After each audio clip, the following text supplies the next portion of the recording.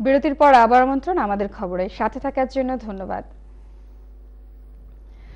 মুক্তিযুদ্ধের চেতনায় উদ্ভূত সকল শক্তিকে ঐক্যবদ্ধ করার প্রয়াসে চেতনা একাত্তর নামে একটি অরাজনৈতিক সংগঠনের আত্মপ্রকাশ ঘটেছে। বার্মিংহামের স্থানীয় একটি সেন্টারে এই সংগঠনটির আত্মপ্রকাশ ঘটে। বার্মিংহাম থেকে বিস্তারিত জানাচ্ছেন আমাদের বার্মিংহাম প্রতিনিধি আব্দুল আহাদ সুমন। সোমবার বার্মিংহামের স্থানীয় একটি কমিউনিটি হলে স্বাধীনতা চেতনা উদ্বুদ্ধ সকল শক্তিকে ঐক্যবদ্ধ করার প্রত্যয় ব্যক্ত করে ব্যতিক্রম ধর্মী এক অনুষ্ঠানের মাধ্যমে চেতনা একাত্তর নামে একটি অরাজনৈতিক সংগঠনের আত্মপ্রকাশ ঘটে। সাংস্কৃতিক ব্যক্তিত্ব মকবুল চৌধুরীর কর্তৃক নির্মিত মুক্তিযুদ্ধ ভিত্তিক প্রামাণ্য চিত্র প্রদর্শন ও মুক্তিযুদ্ধ ভিত্তিক নাটকের অংশ বিশেষ প্রদর্শনের মাধ্যমে শুরু হওয়া অনুষ্ঠানে যুক্তরাজ্যের বিভিন্ন শহর থেকে আসা বিশিষ্ট ব্যক্তিবর্গরা উপস্থিত ছিলেন।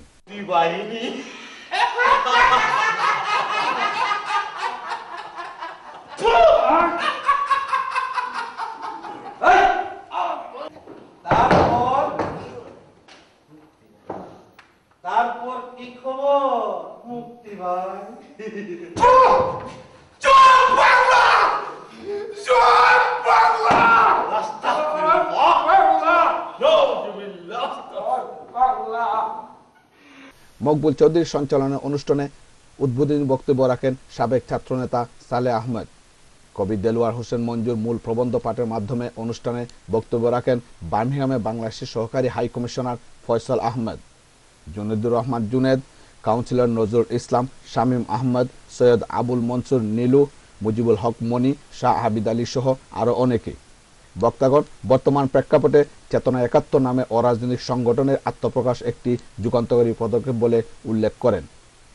জামাত শিবির কর্তৃক যুদ্ধ অপরাধীদের বিচারকে নস্বাত করা ও জামাত শিবিরের তাণ্ডবের প্রতিবাদে চেতনা একাত্তরের মাধ্যমে প্রকৃত দেশপ্রেমিকরা রাজাকার মুক্ত বাংলাদেশ করার এগিয়ে আসার আহ্বান জানানো হয়।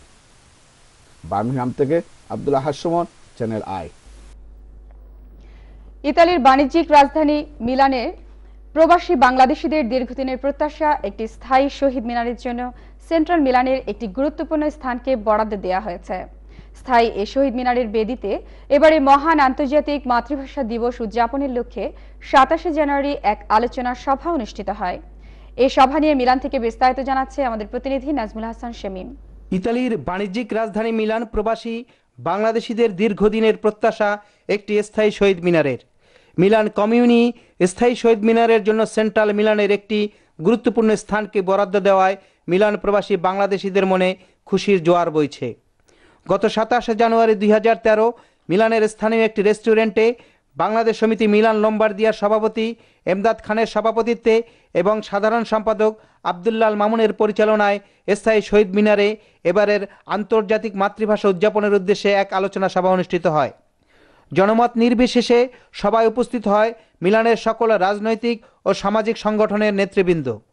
অনুষ্ঠিত সভায় বক্তব্য রাখেন বাংলাদেশ আওয়ামী লীগ মিলান শাখার সভাপতি শাহাদাত হোসেন, প্রধান উপদেষ্টা আব্দুল হান্নান, বিএনপি মিলান শাখার সাধারণ সম্পাদক হোসাইন মোহাম্মদ মনির, উপদেষ্টা রকুনুজ্জামান, সহসভাপতি রফিক দেওয়ান আব্দুল মান্নান, কুমিল্লা সমিতি মিলানের সভাপতি আবুল হাশেম, জামান আহমেদ, মিলানের সাংস্কৃতিক সংগঠন শিকরের তুহিন মাহমুদ ও কাউসার আহমেদ প্রমুখ।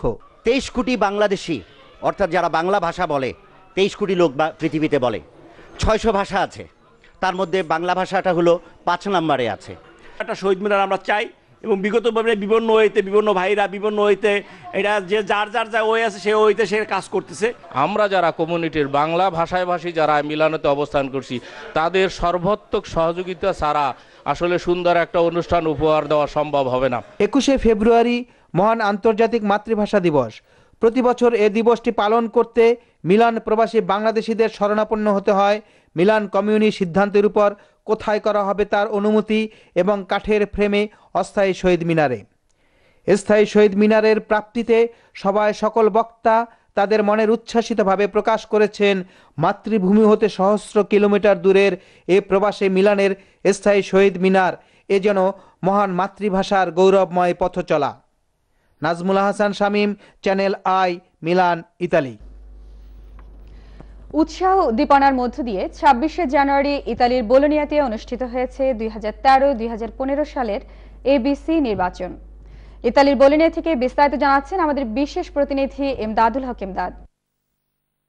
বহু উৎসাহ উদ্দীপনার মধ্য দিয়ে ইতালির বলোনিয়াতে অনুষ্ঠিত হল এভিসি নির্বাচন। সকাল আটটা থেকে বিকেল পাঁচটা পর্যন্ত চলে এই নির্বাচন। এবার দুইটি প্যানেল নির্বাচনে প্রতিদ্বন্দ্বিতা করে। কাজল ডায়মন্ড পরিষদ ও নিয়ামত আনোয়ার শৈল পরিষদ। আর এই নির্বাচনে বলোনিয়াতে বসবাসকারী প্রবাসী বাংলাদেশিরা প্রভিন্সের বিভিন্ন স্থান থেকে স্বতঃস্ফূর্তভাবে ভোট কেন্দ্রে আসে তাদের পছন্দের প্রার্থীকে নির্বাচিত করার জন্য। এ সময় কয়েকজন প্রার্থী বলেন, তারা যদি নির্বাচিত হয়, তাহলে তারা ভবিষ্যতে কি ধরনের কার্যক্রম পরিচালনা করবেন তা তুলে ধরেন। এছাড়া সাধারণ ভোটাররা তাদের অনুভূতির কথা জানান। প্রধান নির্বাচন কমিশনার এম এ নেতৃত্বে গঠিত হয় একটি স্বচ্ছ নির্বাচন কমিশন দুই তিনি আরও জানান, এবার নির্বাচনে ভোটার সংখ্যা ছিল চার হাজার দুইশো ছত্রিশ জন।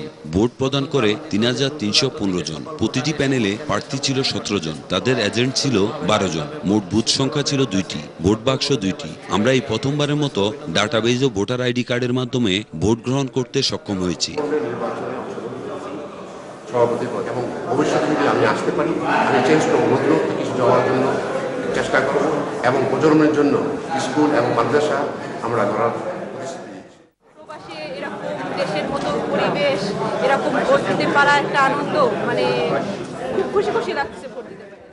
আসলে এবার দুই হাজার তেরোতে যে আমরা ইলেকশনেতে ভোট দিলাম খুবই পরিবেশটা ভালো লাগছে। আমরা পরে ভোট গ্রহণ শেষে নির্বাচন কমিশন ভোট গণনা করে নিয়ামত আনোয়ার শৈল পরিষদের সতেরোটি আসনের মধ্যে সতেরোটি আসনেই বিজয় হয়েছে বলে ঘোষণা দেন। আর এই নির্বাচনকে ঘিরে সাধারণ জনগণের আশা নির্বাচিত প্রতিনিধিরা বলনীয় প্রবাসী বাংলাদেশিদের আশার প্রতিফলন ঘটাবে এইটুকু প্রত্যাশা সকলের। আগামী দিনে নেতৃত্ব প্রতিষ্ঠা করার জন্য তাদের রায় প্রদান করেছেন কলোনিয়া বার্ষিককে ধন্যবাদ জ্ঞাপন করছি আজকের এই ইলেকশনে যোগ দিয়ে। সুন্দরভাবে আজকের এই ভোট শেষ করেছেন।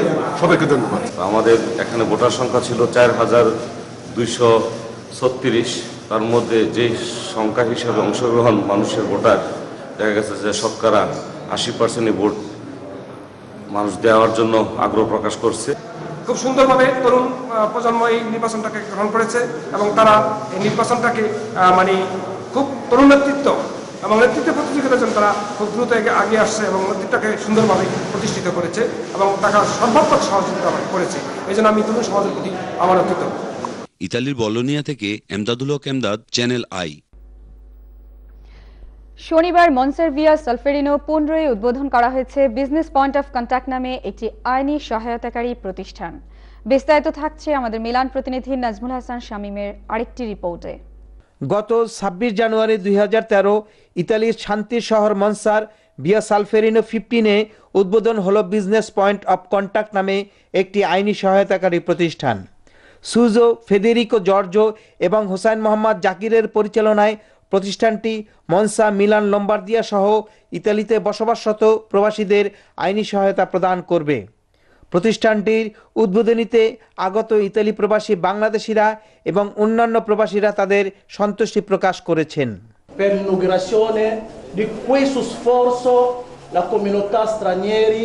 আমরা আপনাদের সমস্ত ডকুমেন্টস তথা পেরবাসী সৌজন্য ফ্যামিলি আনা নেওয়া কস্তুরা এবং এমবেসির সমস্ত কাজ আমরা আপনাদের জন্য করব।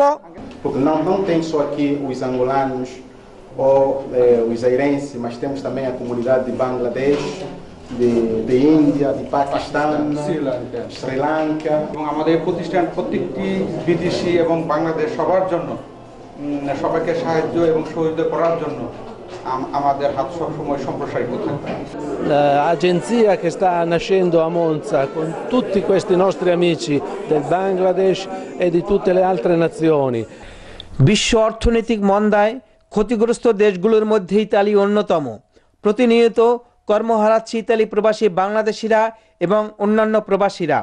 আইন এবং ইতালিয়ান ভাষা কম জানার কারণে নানা ধরনের সরকারি সহায়তা এবং সুযোগ সুবিধা হতে প্রবাসীরা বঞ্চিত। এরকম পরিস্থিতিতে বিজনেস পয়েন্ট অফ কন্ট্যাক্ট প্রতিষ্ঠানটি প্রবাসীদের নানা সমস্যা সমাধানে এবং সরকারি সুযোগ সুবিধা আদায়ের লক্ষ্যে গুরুত্বপূর্ণ ভূমিকা পালন করবে। Nazmul Hasan Shamim Channel I Monza Italy বাউল সন্ধ্যার আয়োজনে ও সি ফুড অ্যান্ড পোল্ট্রি লিমিটেডের সৌজন্যে হয়ে গেল এক পুনর্মিলনী অনুষ্ঠান। পশ্চিম লন্ডনের সাউথ হলের স্থানীয় একটি সেন্টারে এই সভা অনুষ্ঠান অনুষ্ঠিত হয়। শফিকুল আলমের সার্বিক তত্ত্বাবধানে ও ফারার পরিচালনায় এতে আয়োজকদের মধ্যে উপস্থিত থেকে বক্তব্য দেন কমিউনিটি ব্যক্তিত্ব সাইফুল ইসলাম, নজরুল ইসলাম, কাউসার আহমেদ, শাহাবুদ্দিন, এলিস চৌধুরী প্রমুখ। সংগীত পরিবেশন করেন শেফালি, আহমেদ খান, টিপু শানাজ সুমি, বাউল শহীদ, শিল্পী হাসিরানী প্রমুখ। নৃত্য পরিবেশন করেন আইরিন আর পুরো অনুষ্ঠানটির মিউজিকের দায়িত্বে ছিল তানপুরা।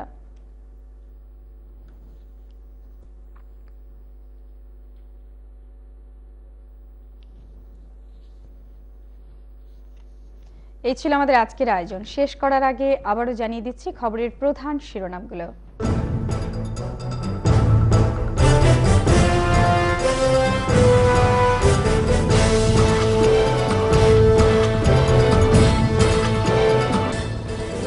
এবার অ্যান্ট্রোপোনার টিয়ার ওয়ান ভিসা নিয়ে হার্টলাইনে যুক্তরাজ্য ভিসা পেতে প্রমাণ দিতে হবে ভিসা প্রার্থীকে। অ্যান্ড্রু মিশেল পুলিশ কর্মকর্তা বাগবিতনটায় তদন্তে এবার গ্রেফতার হলেন মহিলা পুলিশ কর্মকর্তা। শুরু হলো ভাষার মাস, ফেব্রুয়ারি। জাতিসংঘের অফিসিয়াল ভাষা করার দাবি প্রবাসী বাঙালিদের।